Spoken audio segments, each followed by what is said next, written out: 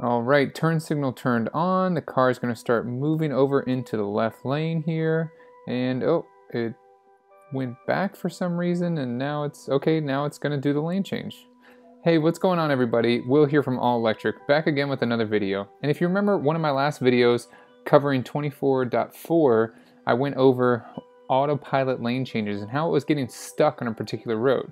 So I just got a new software update 2019.28.3.1 and in this update it actually fixed the problem that I was having going from the right lane to the left lane with these lane changes. So in that video I'm going to show you what autopilots do with regards to lane changes and this new update. Later in the video we're also going to go over a couple really exciting products related to the Model 3 that I'm excited to show you guys. Okay, before we get into lane changes, I want to talk about single lane performance. I'm not seeing a lot of the phantom braking like I was with these shadows, and that really started in 24.4, so it's nice to know that we are not regressing and we're at least staying the same. It does handle this road about the same as 24.4, and I am excited to perform the curvy country road test again when I can get over to that part of town. Now, here is what didn't happen in 24.4. Going from the right lane to the left lane, and if you haven't seen that video, I'm gonna put a link up there for you, and you can see I initiate the turn signal and the car is going to move right over, which in 24.4 on this section of road, for whatever reason, would not move from right to left, but only left to right. And you can see there, there was no lane lines because it was passing through an intersection and the lane change was actually aborted. Really smart. The school signs, however, did not abort the lane change, and you can see when the lane change from the center display, when it goes to dash, and then that right line will turn to solid, and the middle line will be dashed, meaning that whatever lane line that the car is going to cross over will be a dash lane. So I really encourage you to go back and look at my last video where it would not let me do a lane change from right to left, which right here, with the newest software update, it is allowing me to go from the right lane to the left lane. It looks like Tesla was able to solve whatever problem they were having with this lane change on this particular road. Several of you guys commented in my last video saying that you were having the same issue on this same style of road with the older 24.4 update. So if you guys have gotten the newest update, let me know down in the comment section below if this has also fixed the problem that you were having with regards to doing lane changes. So here a lane change is performed to get into the turning lane and I'm in autopilot still, which is kind of cool. And as I enter the intersection, you're gonna see that the car recognizes that it's in an intersection and it says take over immediately. Now this is a brand new paved road and they just have little tiny little flag markers for the lanes and autopilot is able to recognize that even though yes they're using the data from the cars around it too but just really cool how it's able to drive and be engaged on a road with very limited lane lines so i would say that the lane changes are just as cautious as they were before and they're just as good. So you can see here this car is in red, meaning that it's in the way, and then after the car gets out of the way, the car is going to complete the lane change. I feel very safe when I'm using this to change lanes, and most of the time it's better than what I see people around me doing.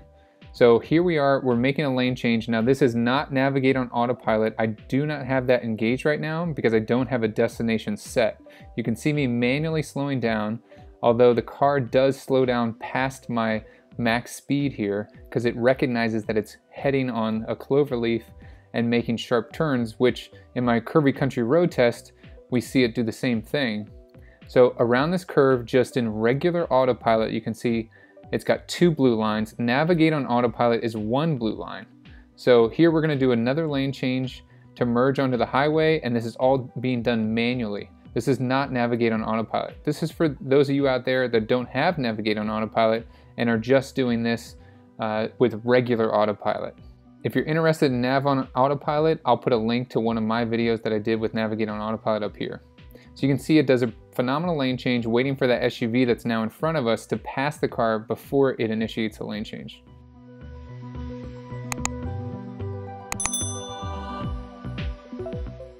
So here you see me reach over, pull down on the drive stalk, and the car moves right over. I have noticed that these lane changes, especially on highways when manually input, meaning I turn the turn signal on, have become a lot faster as long as you know it's clear obviously. So it's almost like it's getting more confident with changing lanes on a highway. Now on a smaller road like this, I did notice that it takes slightly a little bit more time and sometimes even like right there, kind of hesitates and second guesses itself before it actually makes the lane change over. Now let's go back from the left lane to the right lane by putting the drive stalk up. Once it passes through the intersection and that white SUV is out of the way, then it's going to initiate the lane change over. Very safe, moving very well in this new update. So here we're going to go from right to left and you can see that there's a car there. So it is red and the line is dashed meaning that it wants to make the lane change. But now that it is clear meaning the car sees that the SUV is no longer in the way then it will move over. Really smooth compared to some older software updates. Now getting into like a turn lane like this is not perfected yet. You can see I manually have to take over even though in this large turn lane then I can re-engage autopilot. So you see right there with the blue steering wheel, two blue lines, I'm in autopilot still. So we're gonna slow down the speed, the light turns green. Let's see if it makes a left-hand turn. Um, it's thinking, yeah, I gotta take over. So if you've seen my left-hand, right-hand intersection turning autopilot video that I posted a couple weeks ago, I'll put a link up here for that. Uh, that's pretty cool to see. It's, it doesn't work in all intersections, but it does work in some of them. So we're making a left-hand change here and you can see it just does a really smooth, great job. Some of the previous versions of this software when you were making lane changes were a little bit jerky, but this newest software update is really smooth. Now let's switch gears real quick. I got a couple exciting products to show you. Since I bought my Model 3, it's always bugged me that the back door didn't have the same beautiful metal badge on the door sill, but now, thanks to Amazon, link is in the description, of this beautiful metal Model 3. It's miniature, so it's not as big. They give you cleaning cloths, so it's super easy to install. Simply peel off the back tape and then line it up wherever you want it and press down firmly. And that's it, really super easy to install and I think it really looks a lot better and it finishes it off. You can see the matching front versus the rear. I mean, it just really finishes it off and it looks nice. I'll leave a link down in the description for 15 bucks it's really worth it. The next product I have to show you is something that I really wasn't that excited about, but my wife wanted me to get because I often throw dirty stuff in the back of my Model 3. If you remember from one of my previous videos, this is the same material, same company, same brand as the Model 3 floor mats for the interior of the car that I did. Now this is the trunk mat, which is nice because it matches like the same design and everything, same thickness, it, a really good quality mat.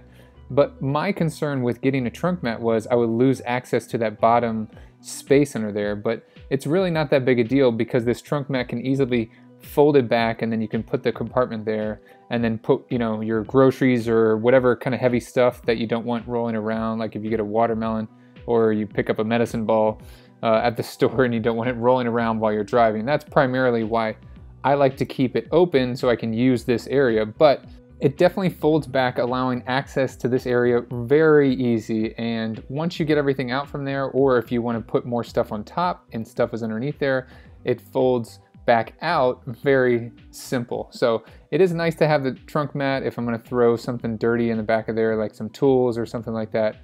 Makes it very easy. It's also easy to come out too. As you saw there, it's very effortless to take in and out. And you still have access, you know, because you can still see that top part of that little hook so you're not losing any functionality with your trunk. Now, there is another exciting product that I found while browsing for these trunk mats, and that is this bag. Now, hear me out, it's not just a bag. So this is designed to go in that bottom compartment in your trunk. So it fits perfectly in there and it has a lot of functionality and it's really sturdy. So company that made this bag really thought long and hard about this bag. It, as you can see, it folded up real nice and it has all these fantastic pockets on the outside of it. And not to mention that like this thing is sturdy and large on the inside. So it's got little dividers so you can divide up certain sections of the bag, which makes it nice. And it really fits a lot of stuff. So let's put some stuff in the bag. So I have some stuff in my garage that I'm going to throw in this bag just for demonstration purposes, and I really like how it divides up. Now, here's the coolest part of the bag because it keeps its shape, so if you have something fragile, uh, you can put it in there and then put it in that lower section of the trunk and it will be completely hidden or you know you can put more stuff on top of the trunk but still have easy access to all this stuff by simply pulling down that hook and if you just wanted to grab like a tool out that you needed and you could just grab that tool and all of your stuff would still be organized nice and neatly in that lower portion of the trunk. Now I love how it fits just perfectly in that bottom section. I really do. And you can just pull the whole bag out if you want, um, but it does work a bit easier to pull the bag out and also put it in when you have that lower panel kind of tucked away and the trunk mat rolled back up like you see here. So it is a bit easier to pull out. But I thought, so we go to Aldi, which is a unique grocery store. They don't bag for you. They don't have bags by themselves. So I was like, let me take this bag to Aldi and see how well it does with, you know, like folding itself up. And you can see I'm trying to do this while holding the camera. And so we folded up the bag and we're walking into the store. But first, always park your car far away from everybody else. And what a view. Let's take a picture. Okay, so we're walking in Aldi and now we are going to get our groceries and throw everything that we got at the grocery store into our trunk bag. And you can see here, all these little compartments are going to work great for all the stuff I got because we don't want our chips crushed. We put our eggs by itself and we're just gonna throw it right on top there and it's nice and rigid. So we have been using this for groceries on a weekly basis and I do really like this bag. Now I do think it is a little expensive so I reached out to the company and they actually gave me a 20% off code for those of you in the US to use on Amazon. So I'll put that down in the link below and that also applies for this trunk mat. It's from the same company so how sweet is that? So you can get 20% off both the trunk mat and the trunk bag. And so the code that you need is all electric, and that's no spaces, just capital A, LL, capital E, electric. So I'll leave that discount code down below in the description right next to all the links for these products that you've seen in the video. If you want to see all the products that I use to make these YouTube videos and all the products that I recommend, check out my Amazon shop. The link will be down in the description. If you like this channel and you like the videos, please consider going over to Patreon and supporting this channel for as little as $1 a month.